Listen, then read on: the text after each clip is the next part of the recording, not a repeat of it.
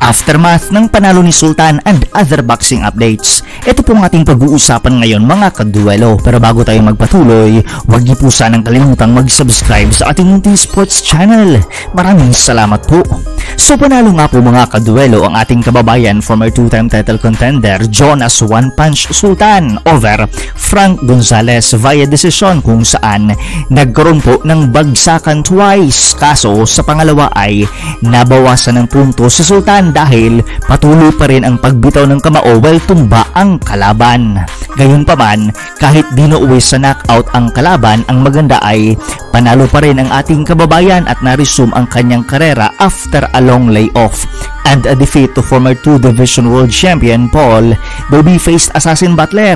Bagamat nakatag as bantamweight battle sa backstrike ang duelong Sultan versus Gonzalez, nasa super bantamweight range po mga kaduelo ang timbang ng dalawa kaya it will be interesting to see kung sa bantamweight or super bantamweight division ipagpapatuloy ni Sultan ang kanyang world title quest kung saan sa 118 gusto ni Sultan makaharap ang current WBO bantamweight champion Australian Jason Mayhem King Moloney while sa 122, pangarap din po niyang makasagupa ang 4th Division World Champion, current unified WBC and WBO Super Bantamweight Champion Japanese Monster na Oya Inoue.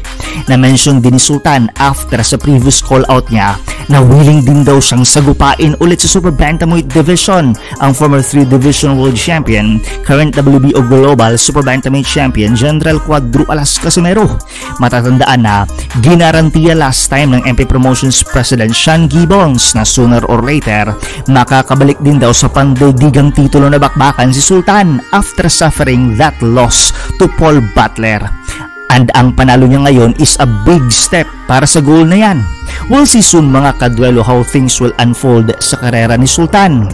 Sa kanyang pagkapanalo ay tinawagan agad siya ni former long-time super flyweight champion Jerwin Pitaboy Angkahas at nag-congrats din po agad ang other boxers like IBF Pan Pacific and WBA Asia Super Bantamweight champion Wonderboy Carl James Martin, Olympic bronze medalist Yumir Felix Marshall at former OPBF champion Pete Penitente Apolinar. Samantala, may nag-call out naman po sa Mexican-based Zanfer Promotions mga kaduelo na instead of Casimero versus former 2 Division World Champion Mexican Luis Pantera Neri dahil iba na ang kakalabanin ni Cuadro Alas that is against former IBF Super Bantamweight Champion Japanese fighter Yakunori Uguni, handa raw si Sultan na sumagupa kay Neri na naghahanap naman na makakalaban potentially sa Disyembre.